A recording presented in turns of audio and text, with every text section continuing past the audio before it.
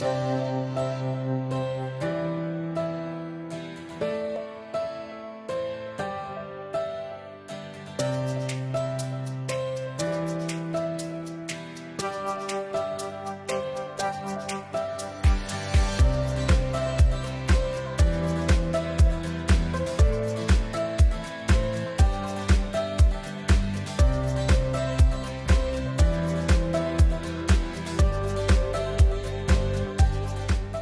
Not everyone wants to focus on just one thing. Being a researcher, you have to be concentrated. You can't have too many hobbies. Actually, you might have to treat science as one of your few hobbies.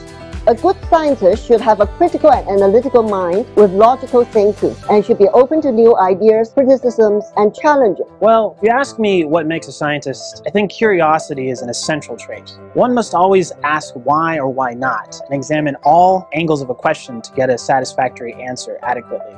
Scientific research is creative. It requires an inquisitive and fresh mind. You have to be excited and passionate about a problem in order to have the drive to explore how to solve it. I would think it's perseverance, the continued effort to do or achieve something despite difficulties or failure.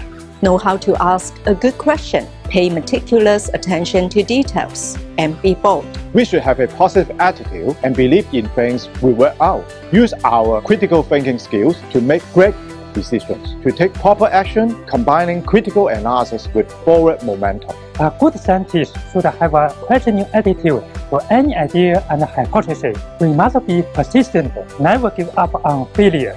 Be curious, love what you do, never stop learning, and never give up.